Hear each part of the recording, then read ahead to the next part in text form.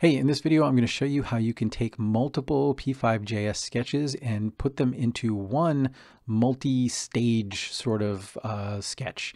So you can imagine this would be useful for uh, maybe a video game where you have separate stages. Maybe there's a configuration screen. Maybe there's some kind of welcome screen to whatever you're doing. Um, in my case, I'm going to make a, a separate sketch for each season of the year, and it's like a tiny little sketch that uh, does something. So let's look at those. The first one is spring. And when I save this, you can see all it does is show an image on the screen. And then when I click, it says go to summer. So I'm using mouse clicked here to tell it to go to summer. Um, of course, that's just a console log, but eventually you can imagine it would actually go to a summer scene. So let's look at that scene. Here's summer. And this is actually uh, also very simple. It's just drawing a yellow circle. It's kind of neat because I don't redraw the background, so it just gets more and more intense, which is kind of nice. And then um, mouse clicked, it's looking specifically to see if the mouse has clicked a certain distance from the center. So that means essentially I have to click on the sun for it to go to the next scene, which is uh, in this case just being represented by this console log again. And then uh, let's see what the next one would be, fall.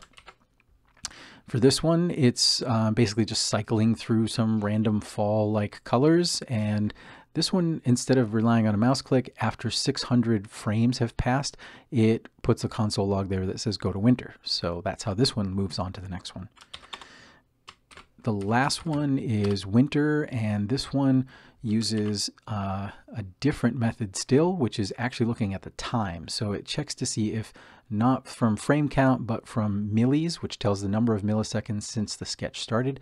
It's looking to see if 15 seconds have gone by, and when they have, then it's going to go to spring. So that's the whole thing. Uh, what I've done is actually made a separate file for each. You can see here I've got spring.js, summer.js, winter.js, and fall.js to make that work, I have to, in index.html, actually add those uh, scripts, just like I do with sketch.js. And I also have to add the library manager or the library for scene manager. So all of that is in my index.html, so that's all set. And what I'll do now is just copy and paste each of my functioning sketches, my separate ones that I know work, into each of those JS files.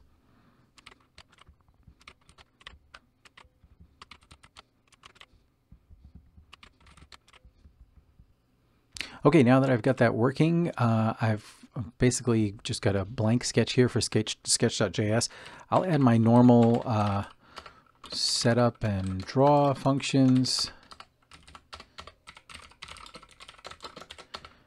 And once I do and I save, you'll see that the, the sketch goes away over there in the canvas.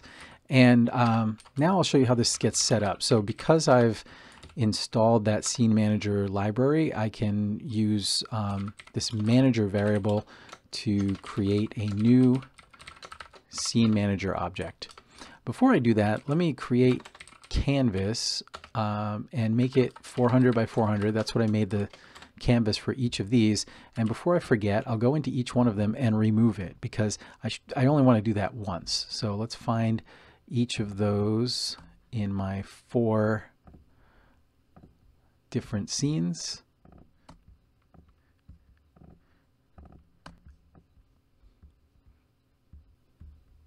Okay, and I've saved everything and now um, I'm going to continue. I just want to add a couple more things here.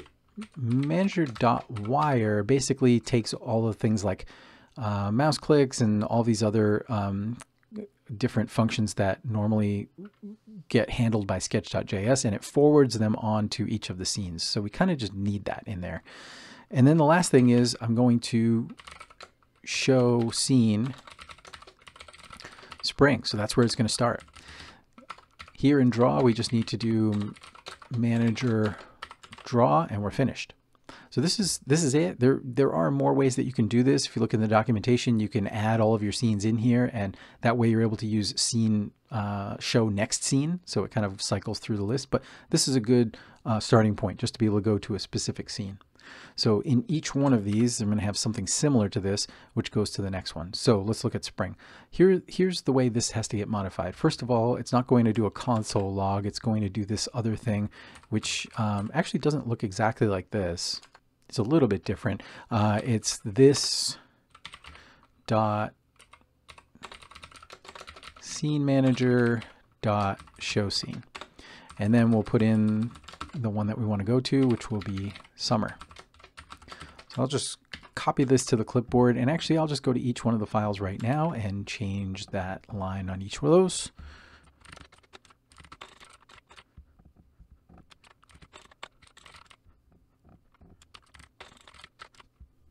Okay, and that's not the only thing that has changed. Actually, the, the structure of these changes a little bit, and the way it looks is we put function, spring, and then everything that was in the sketch before is going to be inside that function. So I'm just indenting to make that clear.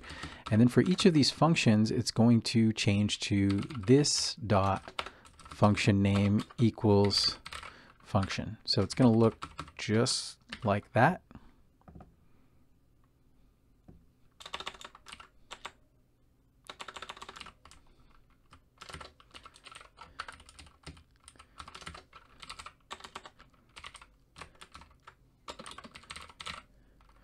Okay, and um, I think that's mostly it. So I'm going to do that to all of the other files, and then we'll try and see what's wrong, because there will be some things wrong. There's no way that all of these will just get dropped in and have no issues. So let, let me uh, do this th that same modification to each of the files.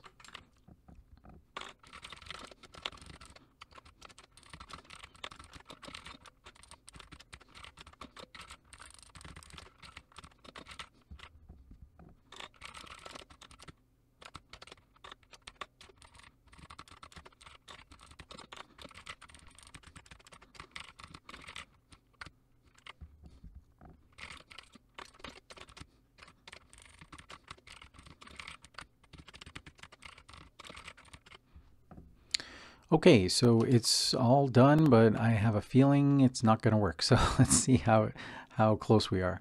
So if I click, it does go to the next one, which is great. And clicking out here does nothing, but clicking on the sun does work. And this one seems to work. Every 60th frame, it's changing color. And after five seconds, it switches to the next one. I'll have to fix this. The, the uh, snowflakes are orange, so that's a problem. But uh, some 15 seconds or whatever later, uh, it should switch to spring, I think. Yeah. Okay. So now I can click and we've got an issue. So it's drawing over the previous one. So let me point out a couple of other things. One is uh, what I've found is that setup is great. You know, this dot setup equals function is great for things like load image, right? We only want to have that happen one time. We don't want every time you go into the scene for it to reload this image from the server. So that works great. For the others, I would say um, enter is better. So instead of this dot setup, we'll do this dot enter. And that means whatever's in here will happen every time we enter uh, that scene. So let's go with that for all these others because the loading of the image is the only one that really should happen one time. The others should happen every time we get in.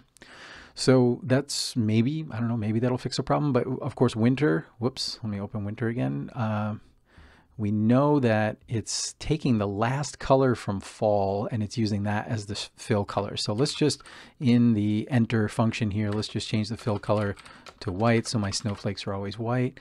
And let's see, where are we now? So click, and click. We'll wait for this and actually let me make uh, winter only five seconds long so we can get through this quicker.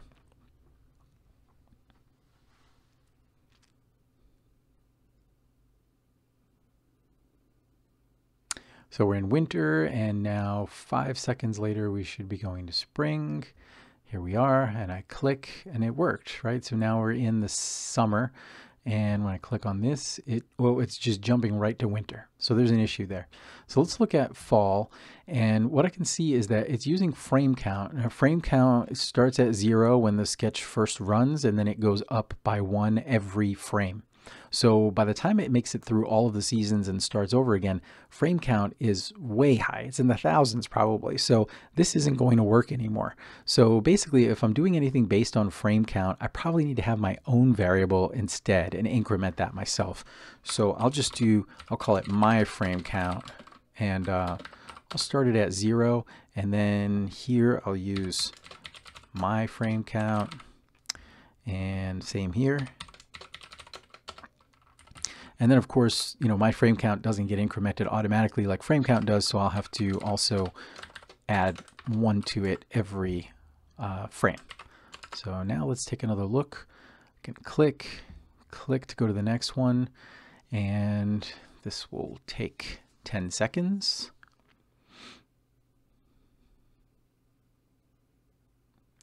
And now we're in winter for five seconds. And now we're back at spring. So I click, click on the sun. Oh, it's still doing it. So let's see what happened here. Um, frame count. Oh, well, you know, I think um, this is interesting. I guess this only happens once. So uh, what I really want is for that to happen every time I enter the uh, scene. So I think here I should say my frame count equals zero. So I'm sure that'll work. Let's try it one more time.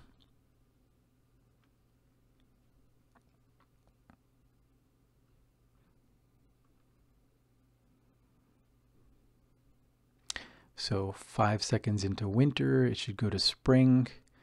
Here I am, and now here I am again in fall. So that was it, right? This dot enter is something that happens every time it enters the scene. So that's where we would want to reset the counter.